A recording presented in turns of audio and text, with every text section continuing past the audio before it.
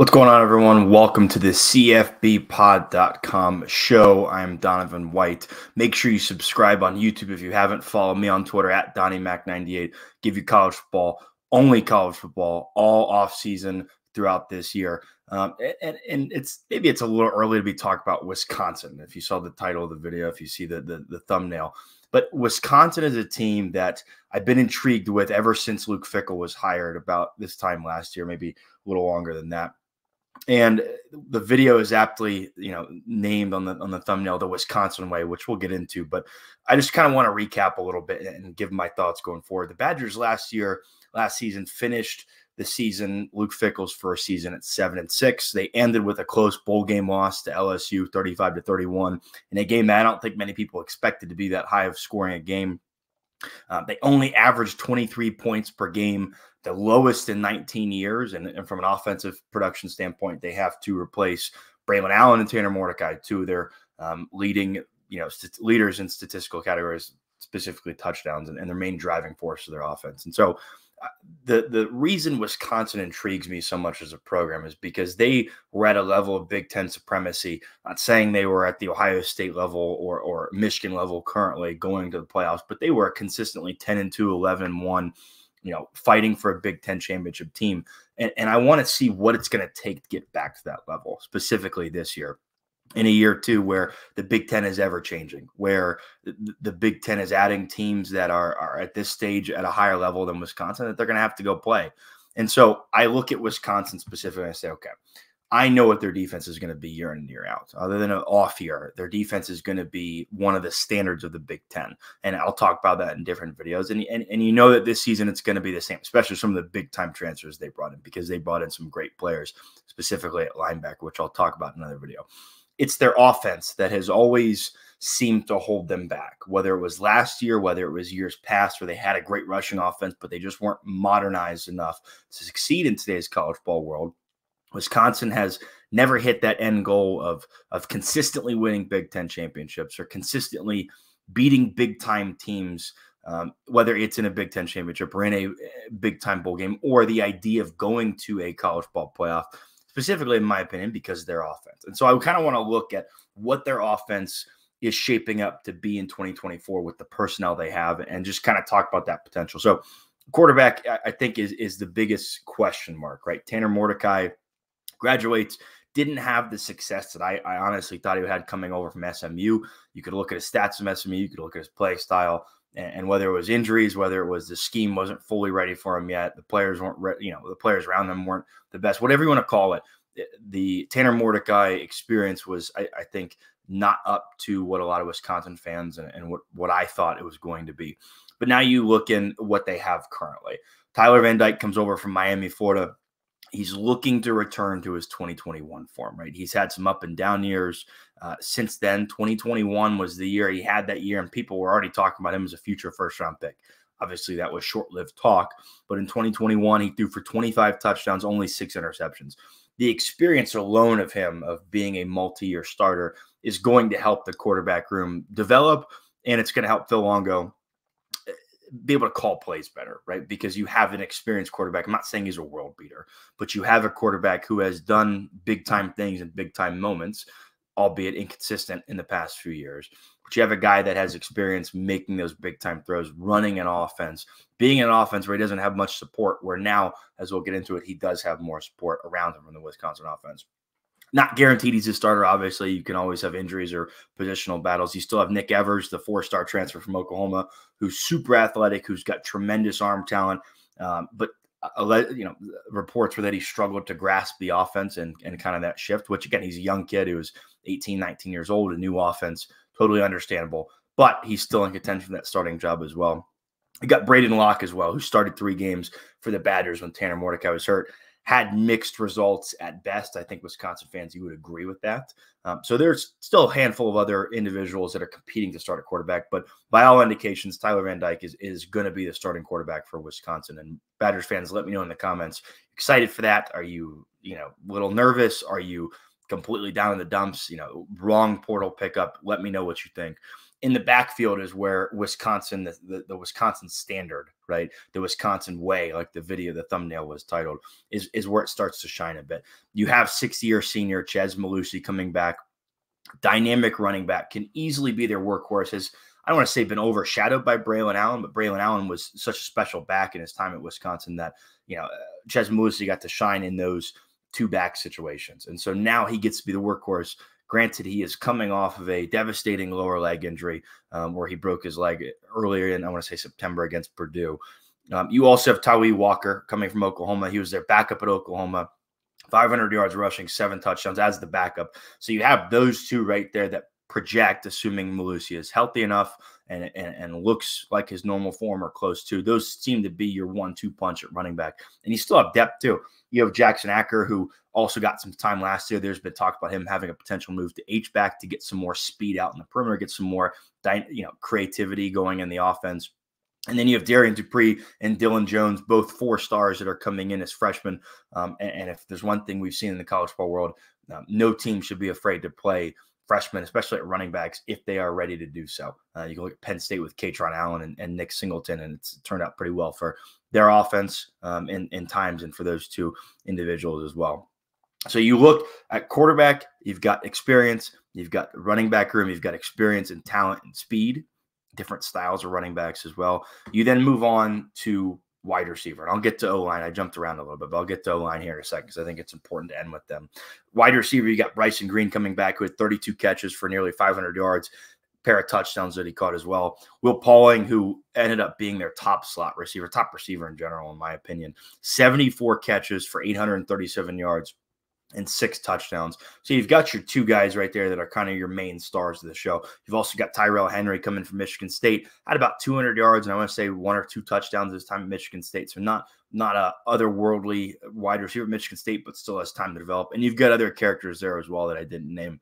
Tight end is where things are a little thin. Um, you know, you love to see a great pass catching tight end at Wisconsin, but oftentimes that's not always what you'll get. You'll get the more you'll get the guy that's more suited for their blocking scheme.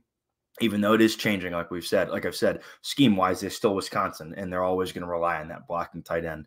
Uh, Tucker Ashcraft is is the leading candidate to start. You've got another guy, uh, Jackson McGohan, former top twenty five tight end in the class of twenty twenty three, was a former Luke Fickell commit at Cincinnati. And so you look at those skill positions and you have some room there to work with. Not the best in the Big Ten. Um, specifically, I think tight end holds them back, but you have a couple guys at wide receiver that can be those main um, um, out pushes for Tyler Van Dyke or whoever else is going to be there at quarterback. O line is where I really wanted to look out for Wisconsin. You're returning your left tackle and Jack Nelson, and and this is projecting. I, I, I believe these are going to be the, the, the starters for next season, but as I'll mention in a second, they have a ton of depth um, and experience at their line. So some of these could mix and match. But Jack Nelson's returning at left tackle. Joe Brunner projects at left guard. He took first team uh, left guard snaps during the bowl practice, but didn't see any time in the bowl game. Uh, they're returning Jake Renfro at center, who was finally healthy in a full offseason. Uh, being healthy for him is going to help his development even more, help that Wisconsin line, offensive line um, gel and start to work well together. Uh, right guard, they're returning Joe Huber, who played left guard, but I think a lot of projections have him flipping from left to right. Uh, might stay at left, who knows? But either way, you got one of your guards returning. And then right tackle, they're also returning Riley Mahlman. So Wisconsin is is in essence returning four or five starters. You could debatably say five starters, depending on how you look at Joe Brunner uh, with his kind of ascension and climb in, in the bowl practices. And so, really, with Wisconsin, I look at it, I go, okay, the Wisconsin way of offense has been that power style running football with a little bit of play action sprinkled in there. Never really going to get into the deep throws, right? It, it wasn't really the Wisconsin way to do things on offense. Obviously, Luke Fickell and his staff are changing that scheme slowly, you know, one day, one week, one game at a time, one off season at a time. And I look at it and I go, okay, they have the offensive line returning with depth and talent and experience. They have a deep, talented running back room with different styles, power backs, speed, uh, third down backs. They have a lot of different pieces and parts the line room. They have an experienced quarterback that needs to show more consistency, but experience and talent. No, nobody is going to pretend that Tyler Van Dyke isn't, isn't talented. And you could debate: is it was it the cast around that he had around him at Miami? Was it his own fault. There's a lot of different reasons, but he's experienced and talented, and they have weapons at wide receiver. they're going to have a consistent top defense. Their offense is what needs to progress more to take their program over the top. And specifically, this offense needs to transform a bit. They have the offensive line to have the running game that they want to have, to have the pass protection that they want to have. It's going to come down to does the quarterback, the offensive coordinator, and the skill players are they all on the same page? Are they all on the same page of buying into what the program could look like? Excuse me, in terms of what the scheme could look like. Are they on on the on the same page of understanding the offense? Is the quarterback Tyler Van Dyke, whoever that may be, playing consistently, keeping the game turnover free? Are the receivers getting open to make catches? Are is the offensive line blocking well enough in pass protection? Are they blocking well enough and creating lanes for Mellusi and and and, Akers and, and others to set up the pass? If, if you can't run it, Balt Wisconsin, it's going to be a long day. You look more like Iowa's offense um, than you do Wisconsin's offense. And, and, you look and you look at Wisconsin and go, okay, let's say all these things happen for them. Let's say the offensive line continues to develop and play well, and those starters uh, develop another year and they go from there. Do they, you know, do their running backs show out like they should? Does Tyler Van Dyke, does their quarterback, whoever it may be, show that consistency and, and actually become a top quarterback in the Big Ten? You start to look at Wisconsin's schedule, and and uh, I'll be honest, it's not an easy schedule. They open up with Western Michigan, and I'll get into a full season preview and prediction of Wisconsin, but I just want to talk about their offense and what can lead them with. Because again, I think their defense is going to be there. They open up with Western Michigan, got a win there. You've got a South Dakota game win there. Week three, they play Alabama, home against Alabama. And I think this is where I don't want to say a defining moment for Wisconsin will be because it's week three. There's no such thing really as a defining moment in week three in this age of the 12 team college football playoff era. But you look at that game and you go, okay, home, probably a night game, primetime atmosphere of Wisconsin, Alabama, an Alabama team that just lost Nick Saban, that was gutted by the portal, that loses essentially every single starter on the offensive line, their top receivers, multiple stars on defense uh, to the portal or to the NFL, a vulnerable Alabama team going into a hostile environment. That game right there can say a lot about Wisconsin because if you win that game or you keep it close, there's, there's no such thing as moral victories, but against Alabama, sometimes there is you win that game, you keep it close. The rest of your schedule looks like this at USC, who say what you want about Lincoln Riley, but USC does not look ready in the trenches for Big Ten football and specifically for Wisconsin football, Wisconsin offensive line and defensive line. They don't look ready for it. So that's not only a winnable game for Wisconsin, it's probably a game you'd expect to win if you're Wisconsin. You got Purdue, Rutgers, Northwestern, four games in a row right there that are all winnable for Wisconsin.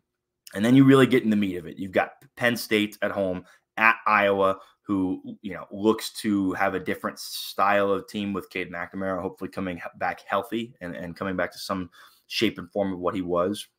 You play Oregon with Dillon Gabriel against Dan Lanning. It's a tough game at Nebraska, Minnesota. This Wisconsin team, if their offense is ready to make the jump that they need to make, is very capable of winning 10 to 11 games on this schedule. I think Oregon is the game that is really the toughest one for them. I know it's home, um, but that's a that's the one game I look at and go, okay, I don't I don't know if Wisconsin can pull that off just yet. But you're telling me if if Wisconsin's offense is firing on even 80% of the cylinders they can be, they can absolutely beat Alabama. They can absolutely they should beat USC. They can absolutely beat Penn State and Iowa. And so you start to just put these things together and go, what is Wisconsin building? towards in 2024. And and you and you look and you don't panic if you have another type of seven and six season because again it's just it, it's just as possible that they could lose to Alabama, use lose to USC, Penn State, Iowa, Oregon, and right there you're already at five losses, and it could be another seven and five season, but it's so close to being that 10 and 2, 11 and 1 Wisconsin team that goes to play in a potential Big Ten championship, depending on how everything else sorts it out, that potentially gets a playoff spot in a 12 team playoff where everything's up for grabs. And so I think Wisconsin fans, you need to be specific in your focus of watching and, listening this spring about how's the development of the quarterback play going? How is the development of in, in really that kind of outside skill set of receivers and tight ends and running backs? How are they adapting to this ever changing offense? Um, and if, and if those things start to piece together, Wisconsin's got a great chance to get back to where they were. And I think a lot of Wisconsin fans are waiting for that. I think Luke Fickell is built for that. He builds programs or built it at Cincinnati and he built them up to what they were when he left. And I think there's no reason that Wisconsin can't have the, this, the same type of process, knowing their program history, knowing what they have talent wise, knowing um, what they have coming through the portal, um, especially on defense, like I, I mentioned.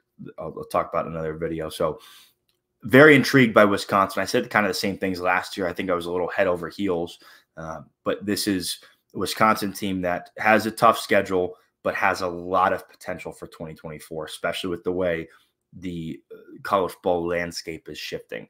Um, so I'll be sure to do more videos on Wisconsin. I'll get a full season preview and prediction on them going here soon. Again, make sure you subscribe on YouTube. Make sure you follow me on Twitter at DonnieMac98 if you haven't. Uh, we're going to be breaking down plenty of other teams and conferences as we go throughout the off season with myself and a couple other hosts of the show. So make sure you're tuned in, hit the notifications on so you can get you're in touch with whatever we're doing, whether it's live or, or videos that we put out. Um, and you can check out our website as well, cfbpod.com. Um, for the show and for myself, I am Donovan White, and I will see you all next time.